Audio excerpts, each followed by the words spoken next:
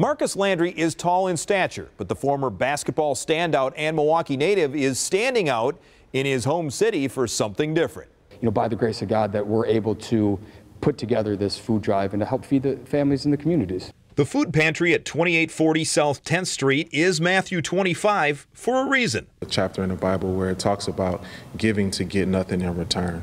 And that, that's kind of what I come in here and focus on every day. He'll literally help walk the food to their houses. He's just a, he's just a, a big man with an even bigger heart.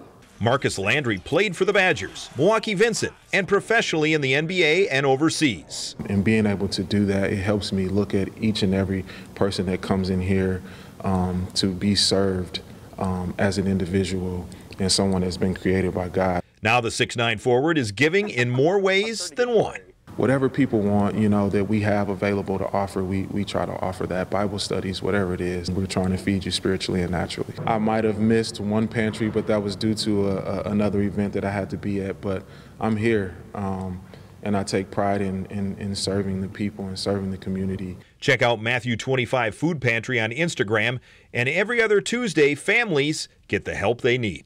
Do you have, I mean, you have bags here. Do you bag up food for families or for individuals? Yeah, so one of the things we try to do here is we try to put together a snack bag for mm. kids.